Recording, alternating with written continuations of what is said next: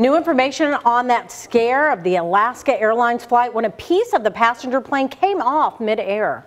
Such a frightening incident. So many of you talking about it even tonight. More than 170 Boeing 737 MAX 9 jets have now been grounded. ABC's Rena Roy is sharing what the FAA is now requiring before allowing them back into the air.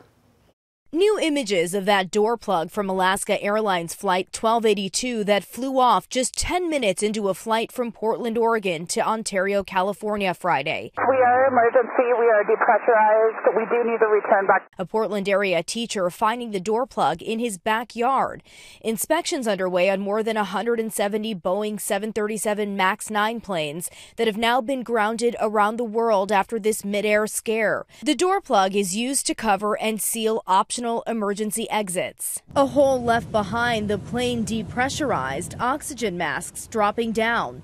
The plane with 179 people on board making an emergency landing in Portland.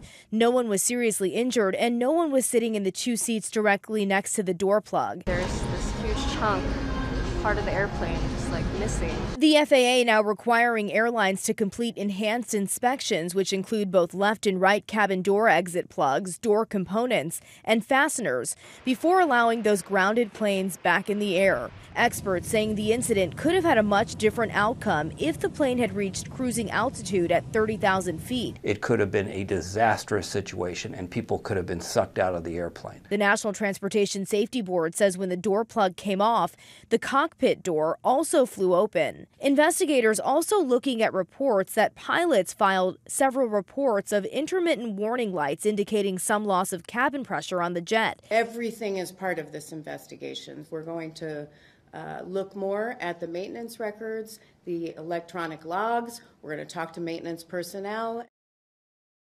As their investigation continues, authorities have revealed no data can be pulled from the cockpit voice recorder because an overwrite routinely takes place two hours after a flight, re recording over that data. Rena Roy, ABC News, New York.